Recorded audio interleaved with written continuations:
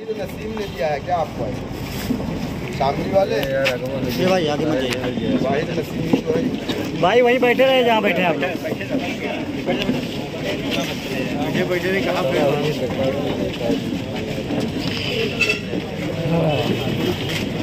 ये भाई।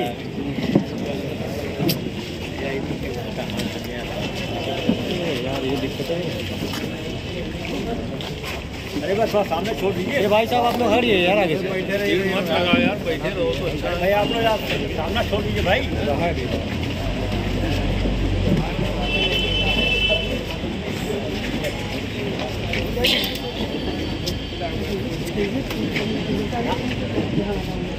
ऑफ़िस का इफ्तिताह था भैया जनसंपर्क कार्यालय विधानसभा शाहगंज का। उसी के इफ्तिताह के लिए आया। दो हज़ार बाईस के लिए एमआईएम की क्या तैयारी है? 2022 में उत्तर प्रदेश में 100 सीटों को हम लोगों ने आइडेंटिफाई कर लिया है। पाँच सालों से मैं उत्तर प्रदेश में ऑर्गेनाइजेशन का काम कर रहा हूँ। और उन 100 सीटों पर जिसको हम लोगों ने आइडेंटिफाई किया है उस पर लगभग हमारा 70 परसेंट बूथ तक काम कंप्लीट हो चुका है। और हमारे पास अब तक डेढ़ सौ कैंडिडेट के आवेदन भी आ चुके हैं, जिसमें तमाम समाज के लोग हैं, तमाम बिरादरी के लोग हैं। हम मजबूती के साथ उत्तर प्रदेश में बाईस का चुनाव लड़ने जा रहे हैं। अबू आसिम आजमी का एक बयान है कि जिसे अपना लीडर मुसलमान चाहिए वो पाकिस्तान चला जाए मुसलमानों को पाकिस्तान जाना होता तो उन्नीस में मुसलमान पाकिस्तान चला गया होता। लेकिन मुसलमान कभी पाकिस्तान नहीं जाएगा। यही बात भाजपा के लोग कहते हैं कि जिसे नरेंद्र मोदी से नफरत है वो पाकिस्तान चला जाए। और वही बात अबू आसिम आजमी ने कहा है कि जो समाजवादी वोट नहीं डालेगा, वो पाकिस्तान चला जाए हम पाकिस्तान भी नहीं जाएँगे और अपनी क़्यादत को खड़ा करके दिखाएँगे उत्तर प्रदेश में इन ताला। अबू आसिम साहब अपने बारे में सोचें। उन्होंने उस शिवसेना से अलायंस किया है, महाराष्ट्र के अंदर जिस शिवसेना के चीफ मिनिस्टर ने वहाँ की विधानसभा में खड़े होकर के कहा कि हमें फ़ख्र है कि हमारे कार्यकर्ताओं ने हमने बाबरी मस्जिद को शहीद किया है। तो अब आसिम आजमी साहब को ये सोचना चाहिए और उनको ये बताना पड़ेगा कि किस बुनियाद पर आपने शिवसेना से अलायंस किया है। आप बताइए।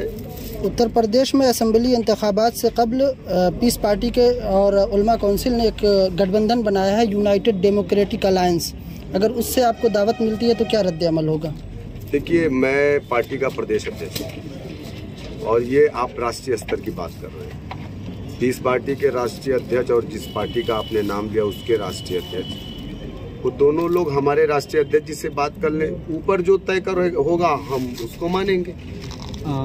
असरुद्दीन ओवैसी इधर कई बार शिवपाल यादव से मुलाकात कर चुके हैं। क्या गठबंधन में शिवपाल यादव शिवपाल यादव से ओवैसी साहब की चार मरतबा मुलाकात हुई है। हो सकता है कि एक या दो मुलाकात आप लोगों को मालूम हो और वो मुलाकात मैंने करवाई है। और नेताओं की शिष्टाचार मुलाकात होते रहती है और यकीनन जब नेता बैठते हैं तो उसमें बात कहीं ना कहीं सियासत की ही होती है। तो अब देखते हैं, अभी दोबारा बहुत जल्द इन ताला एक और बैठक होने वाली है इन नेताओं की। हम लोग उसमें तय करेंगे आगे क्या करना है। क्या 2022 में भाजपा को हराने की ताकत है आई एम आई एम और जो गठबंधन? ताकत किसके पास है वो मुझे बता दीजिए। 2019 के इलेक्शन में सपा बसपा का अलायंस बीजेपी को क्यों नहीं रोक पाया? एमआईएम तो उत्तर प्रदेश में चुनाव नहीं लड़ी थी। 60 से ज़्यादा सीटें उत्तर प्रदेश में बीजेपी क्यों जीत गई? हमें, हमने, और बल्कि मुसलमानों ने बहत्तर परसेंट वोट समाजवादी और बहुजन समाज के गठबंधन को डाला था। इसका मतलब ये है कि मुस्लिम वोटों से बीजेपी को नहीं रोका जा सकता। और मुस्लिम वोट किसी का भी, किसी, कभी ये वोट बैंक रहा ही नहीं, मुसलमान वोट बैंक। और बीजेपी को मुस्लिम वोटों की ज़रूरत भी नहीं है। तो मुसलमान क्यों ना अपने सियासी प्लेटफॉर्म को मज़बूत करे और बीजेपी से मुकाबला करे? समाजवादी बहुजन समाज का वोटर तो बीजेपी के साथ चला गया ना। तो मुस्लिम वोटों से किस तरीके से आप बीजेपी को रोक पाए? रोक पाए क्या? बहत्तर परसेंट मुसलमानों ने वोट डाला ना। तो समाजवादी को ये सोचना पड़ेगा कि उसका वोटर कहाँ? मुसलमान तो हमेशा बीजेपी के खिलाफ ही वोट डाला है। बीजेपी को कभी वोट नहीं डाला मुसलमानों ने।